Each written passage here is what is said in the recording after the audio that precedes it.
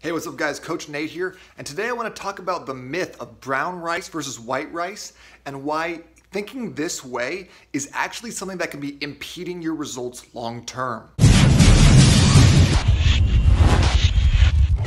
The internet right now is a cesspool of misinformation, things that are totally opposites, and people arguing about myopic things. So you get all these people who are talking about wellness and saying that you shouldn't eat any nightshades. You, if you eat gluten, you might as well just jump off a bridge.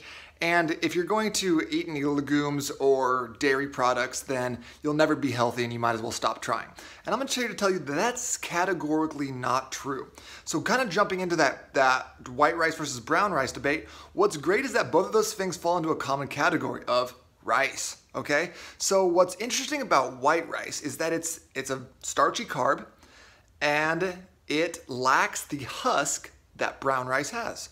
Now brown rice is also a starchy carb, and it has a husk. So people will talk about, oh, brown rice is a lot healthier, um, lower glycemic, slower digesting. But let me ask you a question. When was the last time you ate a bowl of rice and then we're like, mm, that's good, Got, had my meal, moving on to the next thing?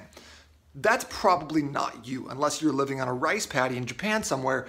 So most of the time we're mixing our rice with other things from Chipotle and you're eating it in a combination together. So that basically eliminates the glycemic index argument completely because you're mixing it with beans, which are slower digesting, high, high fiber.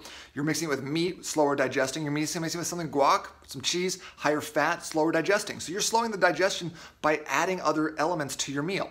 The other thing that brown rice has that white rice doesn't have is the, what's it called, phytates that come with the husk. Phytates are, are described as being anti-nutrients.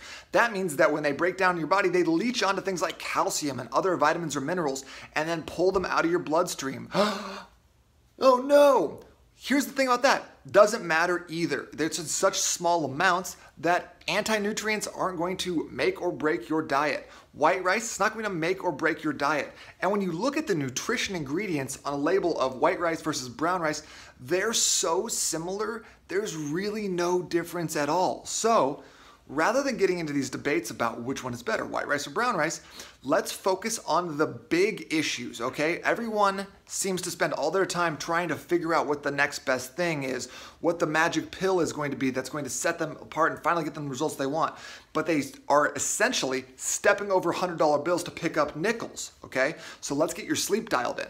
Let's get your breakfast dialed in. Let's get your hydration dialed in. And let's get you training on a consistent basis. Those are the things that's gonna set you apart and get you the results that you want without having to really worry about is white rice, is it brown rice? Here's the thing, eat whatever kind of rice you like better.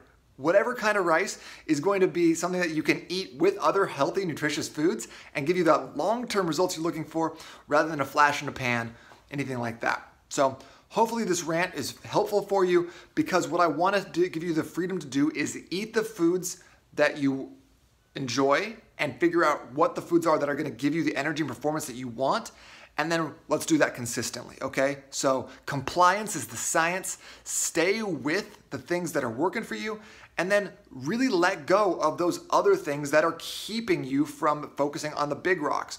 The brown rice versus white rice, steady state cardio versus high intensity cardio, CrossFit versus weightlifting, paleo versus keto. None of these things are matter long term. It's all about finding what works and then doing that consistently. So Hope you have a great day. Drop me any questions you have about that below.